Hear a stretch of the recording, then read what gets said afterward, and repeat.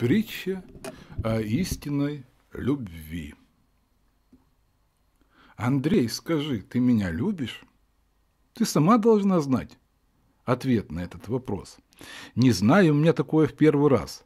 Ты как будто со мной и в то же время не пойму. Сердце вроде подсказывает, что любишь, а разум Сердце всегда право. Верь своему сердцу. Разум видит только оболочку, в то время как оно смотрит в суть происходящего. Но все-таки ты мог бы мне объяснить кое-что? Не знаю. Давай попробую. Почему ты меня никогда не ревнуешь? Вчера, например, у меня было такое впечатление, что ты, наоборот, старался сблизить нас с Антоном, вместо того, чтобы увести меня оттуда. Знаешь, а ведь еще бы чуть-чуть, и я переспала бы с ним. Разве это повод для ревности? А ты не боишься, что я после этого ушла бы от тебя? Нет. Вот этого я и не могу понять. Ты меня любишь и не боишься потерять. Как такое возможно? Знаешь, кроме тебя, я еще очень люблю море. Хм.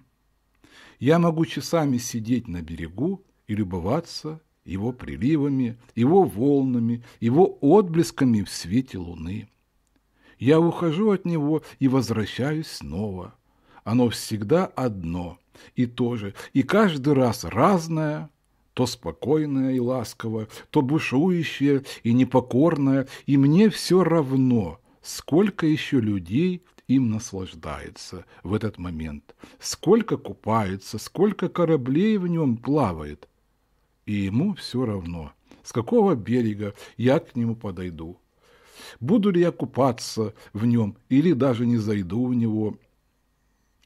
Приду ли я когда-нибудь снова, оно всегда со мной. Его воды в подмосковной речке, в проливном летнем дожде, в воде из-под крана, в горячей чашке кофе утром. Оно питает меня любовью каждый день, потому что любовь моя в сердце.